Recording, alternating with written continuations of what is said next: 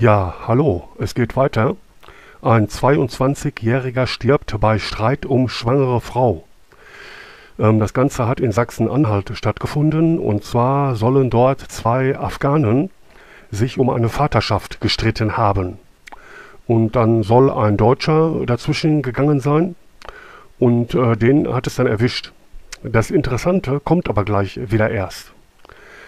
Ähm, also diese zwei aus Afghanistan stammenden Männer äh, sollen mit einer Frau äh, gestritten haben, von wem sie schwanger ist. Also die haben sich darum geprügelt oder gestritten. Über die Frau wird hier nicht mehr ausgesagt, ob das jetzt eine Deutsche war, eine Afghanin oder aus Afrika.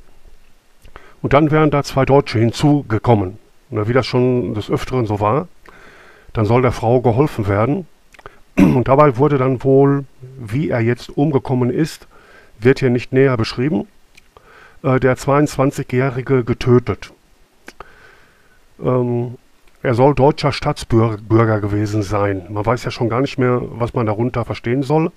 Ich nehme mal an, es ist gemeint ein richtiger Deutscher. Dann wurden die beiden Afghanen ähm, festgenommen. Jetzt kommt aber erst das äh, Interessante, das Interessante, was auch langsam irgendwie witzig ist. Ne? Das Ganze hat ja in Sachsen-Anhalt stattgefunden, dieser neue Mord, was wir jetzt, wir haben das ja jetzt täglich, ne? oder Totschlag in diesem Fall. Das ist ja jetzt täglich. Und ähm, also der Bruder, der Bruder des Opfers hat äh, äh, seinen erschlagenen Bruder wohl noch kurz vorher im Krankenhaus besucht, bevor der verstorben ist. So verstehe ich das hier. Jetzt wird es aber interessant, der Bruder soll ein vorbestrafter Rechtsextremer, also vorbestraft, rechtsextrem, ein vorbestrafter rechtsextremer Intensivtäter sein.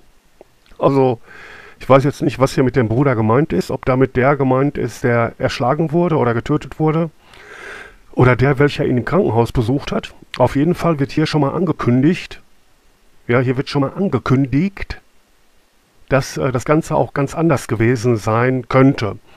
Wir wissen ja mittlerweile, dass Geschichten konstruiert werden. Das haben wir ja, ja jetzt ganz klar erkannt.